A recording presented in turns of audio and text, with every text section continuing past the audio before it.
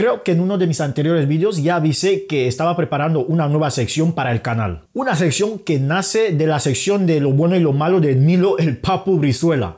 En esa sección de lo bueno y lo malo que hace él, destaca lo bueno y lo malo después de haber ya visto la película. Mientras que yo en esta nueva sección intentaré predecir lo que podría salir bien y mal de cintas que todavía no se han estrenado. Cogeré una cinta que todavía no se ha estrenado e intentaré predecir lo que podría salir bien y mal. Y para estrenar la sección he elegido una cinta que tiene a todo el mundo hypeado. O sea, sé el Joker de Joaquín Phoenix. Mikey, Mikey, Mikey, te estás copiando del Milo. Mm, bueno, la palabra copiar es bastante fuerte. Yo prefiero pensar que la estoy tomando prestada y le estoy dando mi propio toque. Y esta sección se llamará los pros y contras. Bien, pues aquí comienzan los pros y los contras de la próxima película live action del Joker de Joaquín Phoenix.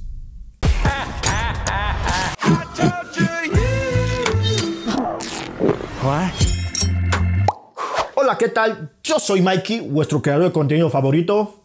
Encantado. Pro. Esta cinta está protagonizada por Joaquín Phoenix, uno de los grandísimos actores que hay hoy por hoy en Hollywood. Un actor que ha sido nominado en tres ocasiones para los premios Oscar, ha ganado un Globo de Oro y posee un Grammy. Vamos, lo que decía, un gran actor allá donde los haya. Contra. La rapidez con la que se anunció la cinta, se hizo un guion y se comenzó a rodar la cinta, me hace dudar un poquito si el guion de la cinta podrá estar a la altura del personaje del que estamos hablando. Pro. El cast de la cinta simplemente es brutal, con grandes actores como Joaquin Phoenix, Robert De Niro, Sassy Beats, etc. Contra. Precisamente que el cast sea tan bueno podría ser que otro personaje que no es el Joker le robe el puñetero protagonismo al Joker.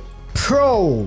La cinta estará situada en otro universo y en los años 90, algo que hace que la cinta sea totalmente libre y sin la presión de tener que conectarla al universo extendido de DC Comics. Contra. Eso desgraciadamente hace que no vayamos a ver al personaje compartir escenas con otros personajes del DCU. Personajes como Wonder Woman, The Flash, Deadshot, Harley Quinn y el mismísimo Lex Luthor.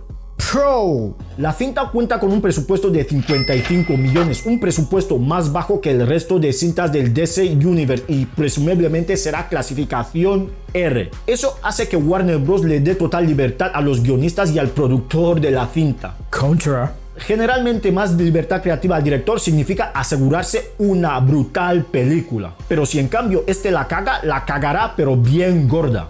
Pro.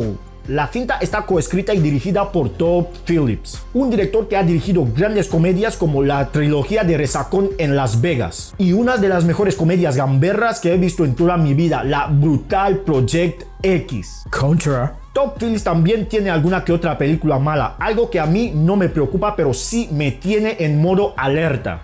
Pro. La cinta, si mal no recuerdo, es la primera película live action protagonizada por el Joker. Contra. No sé cuán interesante podría ser una película individual del Joker sin el gran amor de su vida, Batman. Y yo no lo digo porque sí, porque hay evidencias que así lo confirman. Pese a la gran popularidad del Joker, siempre que se le ha intentado dar historias individuales en los cómics sin la aparición del gran amor de su vida, o sea, Batman, aquello no suele terminar de salir bien y normalmente suele acabar con la gran cancelación de esos cómics. Lo cual viene a significar que la gente no está muy interesada en ver aventuras en solitario del Joker sin la aparición de Batman. Pro. Tanto los vídeos como todas las imágenes filtradas en el set de rodaje tienen lo que es hypeado a todo el mundo. Contra. Ha habido tantas filtraciones que prácticamente nos han spoileado media película. Pro. Por el amor de Batman me muero por ver lo que todos estos detrás de la cinta son capaces de hacer con este personaje. ¿Qué digo ese personaje? El Joker es el personaje. Contra. Y después me acuerdo de que detrás de la cinta está Warner Bros. Y entonces me vengo abajo. Pro. Todos, incluido todos, tú, tú, tú y yo, estamos hypeados por ver esta cinta. Contra. ¿Os he dicho ya que detrás de la cinta está la Warner? Pues sí, detrás de la cinta está la Warner. Bueno, esto ha sido todo por hoy. Decidme aquí abajo cuáles son las próximas cintas que queréis que haga lo bueno y lo malo. Condiciones, la cinta tiene que no haberse estrenado todavía y dos, tiene que interesarme a mí. Y decirme también qué esperáis de la cinta. ¿Estáis tan hypeado como parece? ¿O creéis que, bueno, la Warner? No digo más. Aquí abajo os dejo mi Facebook, Instagram y Twitter. Bueno, ahora mismo últimamente utilizo más el Instagram y el Twitter. El Facebook hace un rato que ya no, ni, ni, ni le he hecho un vistazo. Pero aquí abajo os dejo mis redes sociales para que podáis ir allí, seguirme y decirme lo que queráis. Ojo, si habéis llegado hasta aquí, supongo que si habéis llegado aquí es porque os habrá gustado el vídeo, darle un like, suscribiros, activar la campanita, ojo que es importante para que YouTube os mande una notificación cada vez que el Menda de aquí sube un vídeo. Yo soy Mikey, compartir el vídeo con los amigos, con la familia, quien sea. Yo soy Mikey, nos vemos en un próximo vídeo. Chao.